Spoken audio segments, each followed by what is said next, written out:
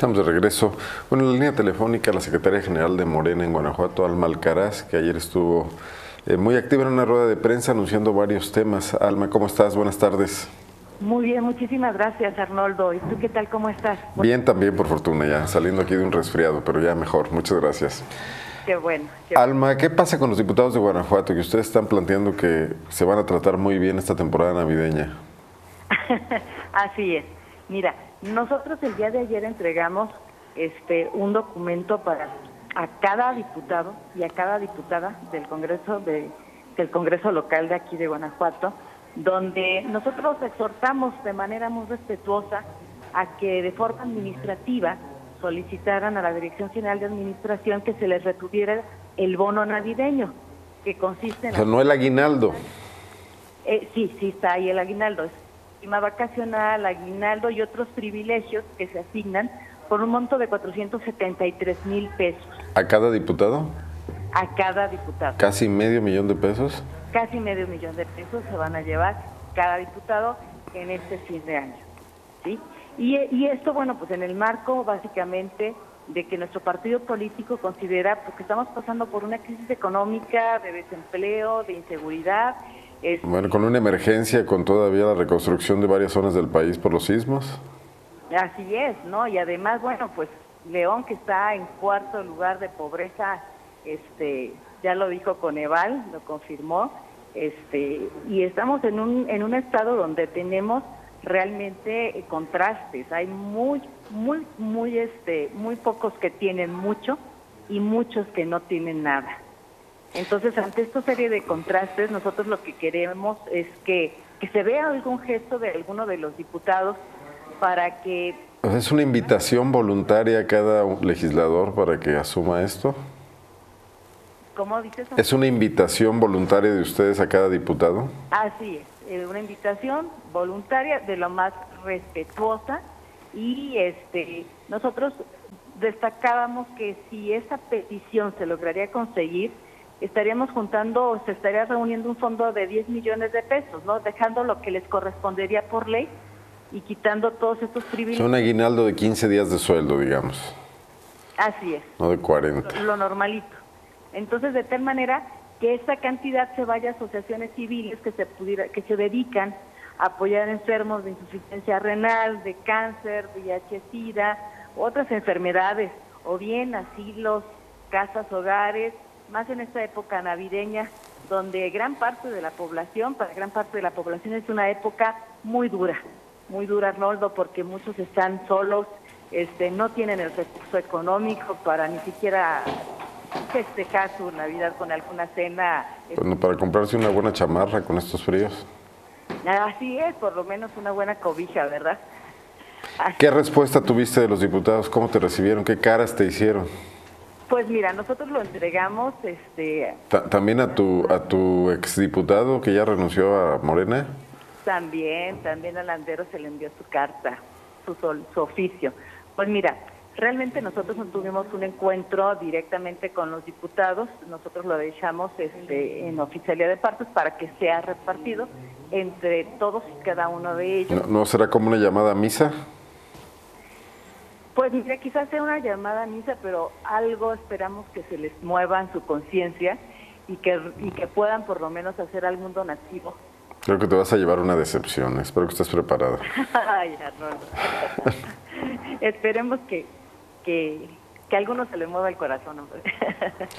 bueno, que asuman si no el costo político de no hacer caso de esto.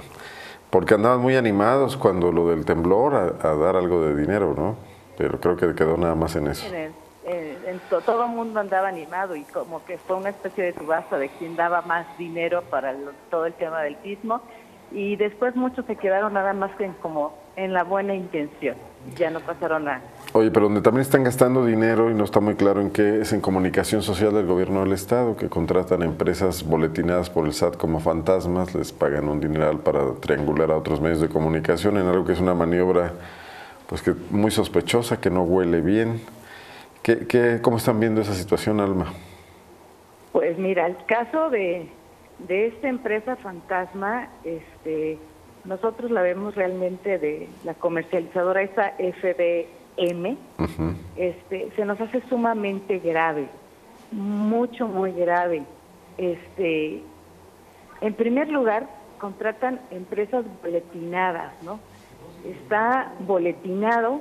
Este, en el diario oficial de la Federación, ¿eh? El diario oficial de la Federación, así es, en, en, mayo este, fue boletinada por el SAT, después al parecer no cumplió, los vuelven a boletinar en junio por el SAT, después ya los publican de manera, bueno, ahora sí que oficial, en el diario oficial de la Federación, vaya la redundancia, y aún así son contratados por esta Dirección General de Comunicación, donde caen también en una especie de contradicción bastante, bastante torpe, este, el gobierno del Estado, ya que por un lado la Dirección General de Comunicación dice que sí están en un padrón, y resulta que el secretario de Finanzas ya declaró que no están obligados a que estén en un padrón.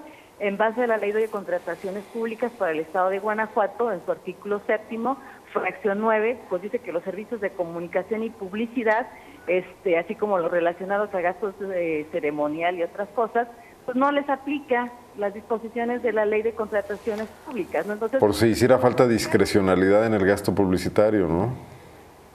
Así es. Entonces esto nos lleva y nos regresa de nuevo al Congreso local. Este, nosotros el día de ayer lo mencionábamos, lo mencionábamos este, en la rueda de prensa, la necesidad y la urgencia este, de que se retome eh, lo que la Suprema Corte de Justicia de la Nación este, ya, lo, ya lo determinó, ya lo aprobó, que es el proyecto este, que ordena al Congreso de la Unión a emitir una ley que regule la publicidad oficial antes del 30 de abril. Y la idea nuestra es que en Guanajuato empiecen a la brevedad con este tema precisamente porque nos estamos dando cuenta que de aquí, precisamente en este renglón, es donde están haciendo negocios.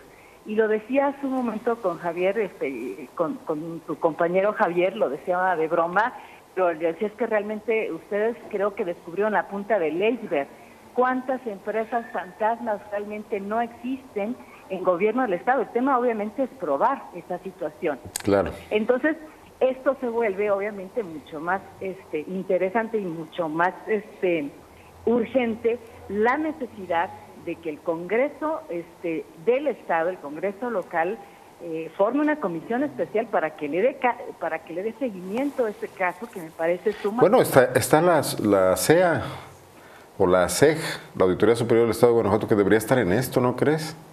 Debería estar ¿Que no leen el diario oficial ahí?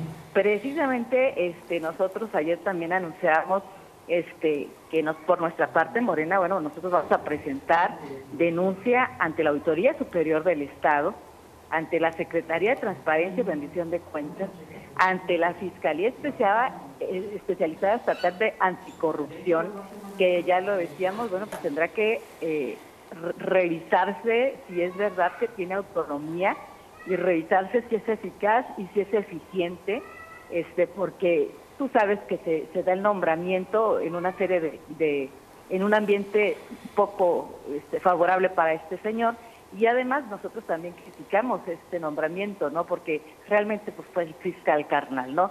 Entonces vamos a ver si pasa la prueba del ácido este, nuevo fiscal. Platícame finalmente, hoy registras eh, o registra tu partido la coalición con la que van a competir por la candidatura a gobernador, por la gubernatura del Estado de Guanajuato, mejor dicho. Es correcto, acabamos de tener una rueda de prensa, este Arnoldo, en la cual este, anunció el convenio de coalición electoral que se llama Juntos Haremos Historia. es el nombre en Guanajuato. Es el nombre, sí, es el nombre a nivel nacional y mm. lo retomamos también sí, a nivel estatal con los partidos Encuentro Social y con el Partido del Trabajo. De tal manera que el día de hoy se presenta el convenio de coalición este, de, esta, eh, de esta coalición de Juntos Haremos Historia y este, se estará presentando este documento, yo pienso que aproximadamente entre 10 y 11 de la noche aproximadamente. ¿Esto cobija a la campaña estatal, pero también podría hacerlo en las municipales y en los diputados? Perdón, no te, no te entendía. ¿Que por esta eh, coalición podrían ir también los candidatos alcaldes y diputados? Así es, sí, es correcto. se está estudiando ahorita eh, lo urgente y la fecha límite, tú sabes que es el día de hoy, para presentarse el convenio de coalición electoral en el caso de la gobernatura. Y para el tema de presidencias municipales y diputaciones locales, se nos vencería, se nos estaría venciendo este, en los primeros de enero, 3 de enero, según recuerdo, 3, 4 de enero. Y mm. también este, la idea es ir juntos también en esas, en ayuntamientos, diputados locales y demás. Alma, muchas gracias por esta, esta compilación de datos que nos ofreces de las actividades que ayer y hoy has desarrollado, todos temas relevantes para la vida pública del Estado. Estaremos en contacto empezando el año aquí en el programa, pero también atentos a las actividades de ustedes en la página en estos días que no vamos a estar al aire. Claro que sí. Muchísimas gracias, Arnoldo. Qué amable. Y este, un saludo de nuevo a tu auditorio y muchas gracias por esta llamada. Buenas, buenas tardes. Buenas tardes.